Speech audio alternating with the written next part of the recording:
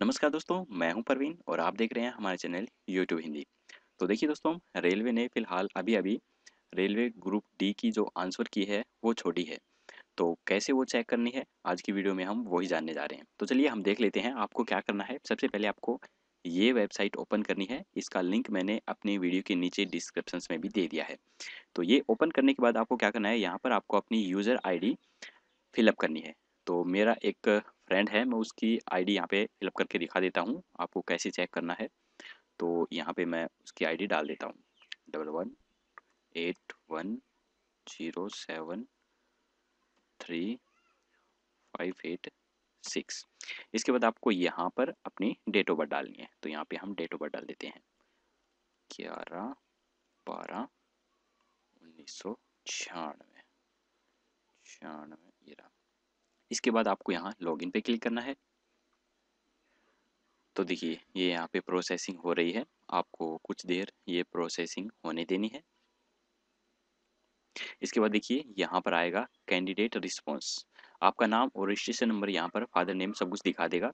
तो आपको यहाँ पर क्लिक करना है कैंडिडेट रिस्पॉन्स पे।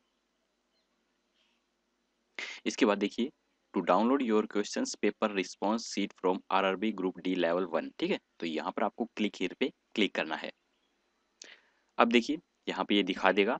ऊपर देखिए जो आपकी है पार्टिसिपेशन आईडी है, ये यहाँ पे दिखा देगा। आपका नाम, आपका सेंटर का नाम, आपकी जो पेपर दिया था आपने उसकी तारीख और टाइम और लेवल ठीक है? ये यहाँ पे दिखा देगा। और देखिए, यहाँ पर एक चीज़ और दे रखी है तीन इंस्ट्रक्शन दे रखे हैं।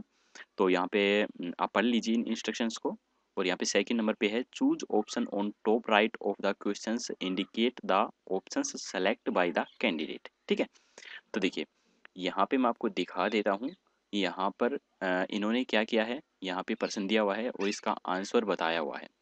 और इन्होंने सिर्फ़ इतना ही आपको बताया है कि आपने इस क्वेश्चन का आंसर दिया था या नहीं दिया था। यहाँ पे देखिए, इसने स्टेटस में जो दिया हुआ है आंसर इसका मतलब है कि आपने इस क्वेश्चन का आंसर दिया था।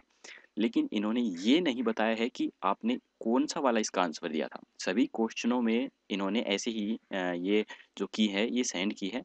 इन्होंने अच्छे से नहीं बताया है कि हमने कौन सा आंसर दिया था और राइट कौन सा आंसर है। इन्होंने राइट वाला तो बता दिया लेकिन हमने जो आंसर दिया था, वो नहीं बताया कि हमने कौन सा दिया था। सिर्फ़ इतना बताया है कि इसका आंसर हमने दिया था या नहीं दिया था। अगर आपको याद है कि आपने इनमें से कौन सा आंसर लगाया था तो आप अच्छे से इसे चेक कर सकते हैं। अन्यथा आप अच्छे से चेक नहीं कर पाएँगे, क्योंकि सिर्फ़ इन्होंने इतना ही बताया है कि आपने आंसर दिया था, लेकिन कौन सा दिया था, ये नहीं बताया है, ठीक है? तो आपको देख लेना है, ये पूरा का पूरा यहाँ पे पेपर दिया हुआ है। मैं आपको नीचे तक लास्ट पेज पे दिखा देता हूँ। बिल्कुल हम लास्ट में चलते हैं इसको लेके। ये देखिए, सो क्वेश्चन है। लास्ट क्वेश्चन ये है। उष्ण वर्षावन को डैश की साइलेंट घाटी में पाया जाता है। ठीक है? तो यहाँ पर आप देख सकते हैं, सो के सौ क्वेश्चन है। इन सभी का आंसर दिया हुआ है। तो आप आसानी से इसे चेक कर सकते हैं। तो चलिए दोस्तों, अगर आपको हमारी ये वीडियो पसंद आई तो प्लीज़ लाइक शेयर और सब्सक्राइब करना बिल्कुल मत भूलिए। तो जल्दी ही मिलेंगे दोस्तों एक नई वीडियो के साथ। तब तक के लिए जय हिंद, जय भारत।